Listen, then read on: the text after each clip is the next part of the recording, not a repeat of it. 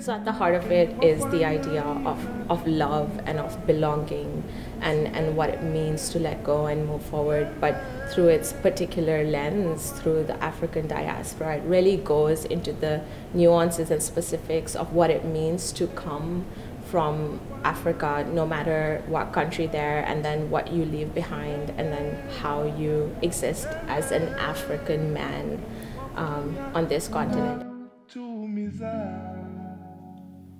I think I happened to be in Perth at a very interesting and special time where there was a lot of energy and a lot of enthusiasm and appetite. And also, Perth, the arts community is so small, so it kind of was a rallying effort around the work that happened on a community level. So when the show did come to life, it felt like a celebration of community as much as it was a celebration of one man's story.